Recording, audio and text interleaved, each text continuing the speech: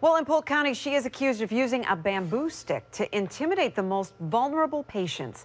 Now, the caregiver of a Winter Haven group home is behind bars, charged with abusing a disabled adult.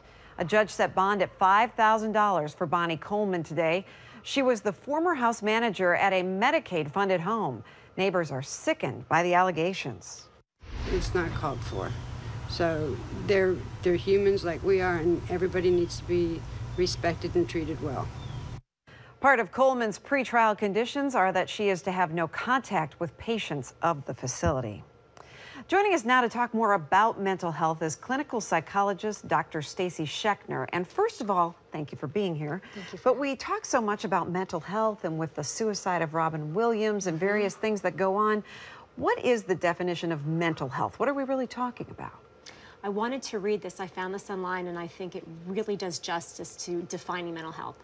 The World Mental Health Organization defines mental health as a state of well-being in which an individual realizes his or her abilities, can cope with normal life stressors, can work productively, and can make a contribution to his or her community. And I just wanted to go over some points. We have to know ourselves, we have to know ourselves in relation to others, coping with stress, and be able to be productive in the community at large. That's where we hear coping skills all the time, right? Absolutely. And so why the stigma, you think, still, even in this day and age, why the stigma attached with getting help? I think because they people think, oh my gosh, if I go to a psychologist, they're going to think I'm crazy. If I go to a psychologist, how are they going to help me? I can talk to a friend.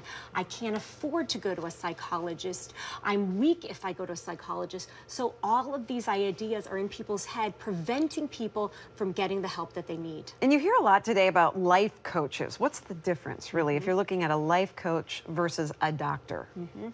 A psychologist, a counselor, a mental health therapist, we all go to school and we're trained in brain chemistry. We're taught to look at how developmentally we grow up and how we can reach our full potential and what is sabotaging that. Where life coaches do not have that type of training and really we're not cookie cutter and we can't cookie cutter advice to the community. And that's the difference. Usually what does bring people to therapy? What is it? I would say the first thing that brings people to therapy are when kids have educational problems. Parents are like, what's gonna, going on with our child that's making them not be successful in school? Another problem are relationship issues, our career issues, our work issues, our marital issues, and that leads to depression and anxiety. So those are common issues where people, if they do come and get help, they can be more happy and successful. And what are the main benefits? I mean, obviously working through things is a good thing, but mm -hmm. how soon can you see benefits? I have a two-year-old who says, Dr. Schechner, I told my mom to do her deep breathing the, other day. so you can see benefits right away. If you go in and form a relationship with a therapist, just like you form a relationship with a gynecologist or a pediatrician, then you can get to know yourself in relation to others and what you may be doing that you don't even know to reach more success and happiness. Good information. Thank you so much. Thank Many you. are going to have to cope at the One Direction concert tonight. That's, That's what parents are going to be doing tonight. Absolutely. Thank you, Dr. Schechner. Thank you. And